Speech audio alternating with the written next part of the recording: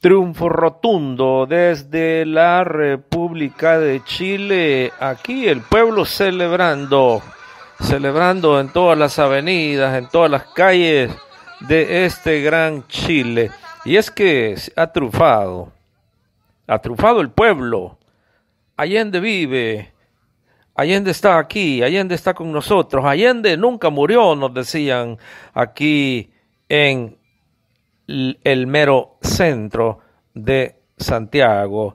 Mire, desde de, de Antofagasta también han informado el rotundo triunfo del pueblo chileno que desde 1973 ha venido reclamando justicia, ha venido reclamando gobierno, ha venido reclamando democracia y se le han ofrecido balas, asesinatos, secuestros, torturas. Eso es lo que se le ha ofrecido y se le ha dado a un pueblo que hoy salió en millones. La población que ha salido a votar nos dicen que ha superado toditas las expectativas. No esperaban muchos de que estas fueran las condiciones en las cuales el pueblo hubiera salido en medio de una guerra bacteriológica que el imperialismo le ha tirado al mundo, en medio de esos gases que le han tirado al mundo, en medio de ese virus que anda por ahí, por todos lados. Nada, nada detenido a un pueblo, nada detenido a los hijos, a las hijas de Salvador Allende, el que, quien se acuerdan ustedes, bajo las bombas del imperio, bajo las amenazas del imperio, bajo la invasión de aquellos aviones de guerra que destruyeron el Palacio de la Moneda, bajo esas condiciones él siempre dijo, me van a matar, pero ahí estarán los chilenos y las chilenas que en un día no muy lejano rescatarán a su país. Salvador Allende dio su vida, dio su vida por todos y todas. Hoy le están demostrando que el pueblo de Chile está hoy más dispuesto que nunca a vivir, a traer realidad ese sueño que ya llevaba cuánto tiempo. El pueblo de Chile, otra victoria contundente otra victoria contundente en América Latina, solamente unos días después de que el pueblo andino boliviano también se aceptara una victoria rotunda y contundente, histórica para muchos, en donde el pueblo boliviano tomó la decisión que ya la había tomado desde hace muchos años y que la tomó también el año pasado, pero el imperialismo con la oligarquía y los sectores de la ultraderecha del fascismo boliviano le robaron al pueblo ese triunfo legal de hace ya casi un año. Sangre, miseria, desesperación, enfermedad, corrupción, saqueo fue lo que hicieron estos golpistas en los últimos 11 meses aquí en Bolivia. Pero el pueblo salió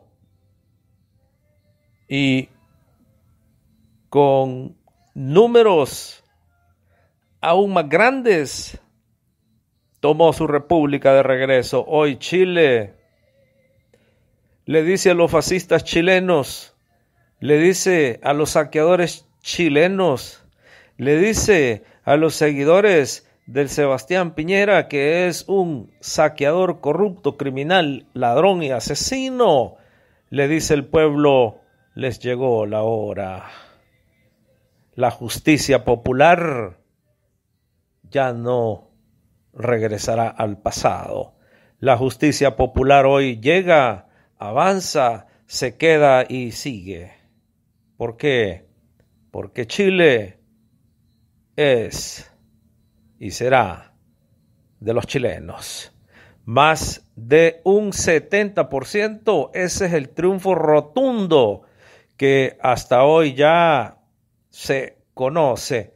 Quedan todavía algunos lugares pendientes de conteo de votos, pero es irreversible. Sobrepasó el 70% el triunfo chileno para que al fin tengan su propia constitución, la propia constitución política que no sea la que había dejado el dictador Augusto Pinochet, que no sea la que habían dejado los Chicago Boys, los que trajeron el neoliberalismo y la privatización a Chile, y que no sea esa constitución que defiende a los que tienen más, a los más poderosos.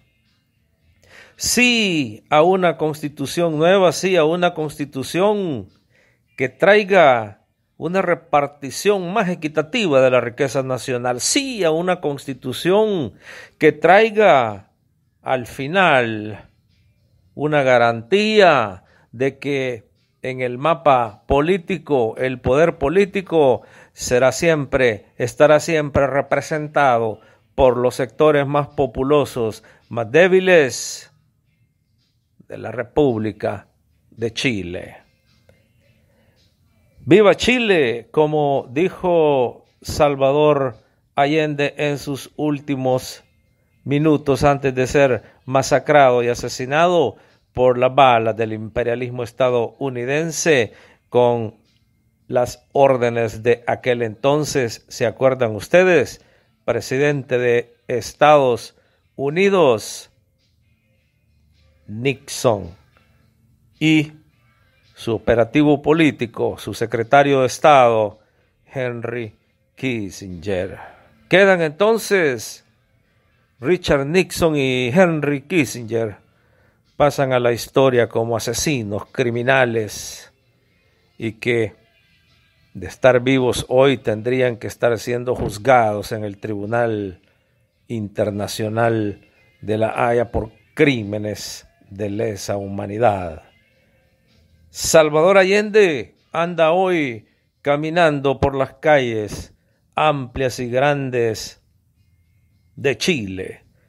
Salvador Allende se metió ya en el espíritu, en el alma, en el corazón de los millones de chilenos que han decidido ahora vamos a construir nuestra república y la vamos a construir a imagen y semejanza nuestra, no de los millonarios, no de los multibillonarios, no de los neoliberales, no de los, de los neofascistas, no de los que siempre han apoyado dictaduras, no solo económicas ni militares, sino que también políticas. El poder político, económico y militar en Chile nunca ha estado en manos de las grandes mayorías.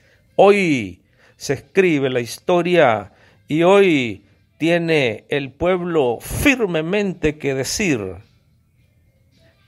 El pueblo es el único que va a escribir la constitución.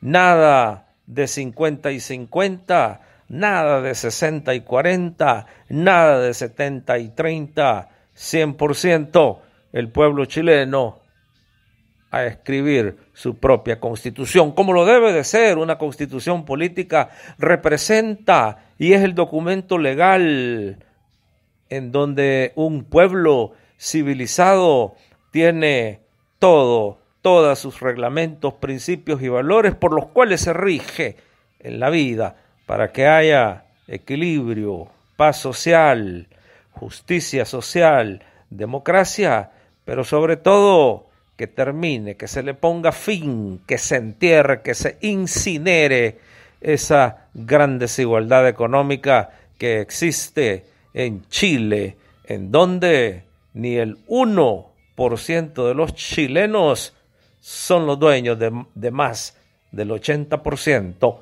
de la riqueza chilena. Una constitución que no destruya esta ecuación, una constitución que no le dé vuelta a esta realidad, no habría valido la pena construirla. Chile hoy marcha hacia adelante. El pueblo hoy, después de años de injusticias, de tragedias, de asesinatos, de destrucciones, de pobreza, de miseria, hoy el pueblo dice, se acabó, basta ya. Otro Chile siempre ha sido posible, pero hoy es, real. Hoy el otro Chile es real, ya viene. Ahora todos adelante, porque la constitución nueva la va a construir el pueblo, no los dictadores, no las clases económicas que siempre lo han hecho, no los poderes políticos fácticos que están en alianza con los poderes económicos fácticos. Fuera el imperialismo norteamericano, fuera el imperialismo europeo, fuera todos los intereses económicos que han tenido a Chile atado y esclavizado económicamente. La deuda externa, que la paguen los que la compraron, que la paguen los que se endeudaron, no el pueblo. Esa deuda nunca llegó al pueblo. Siga en sintonía.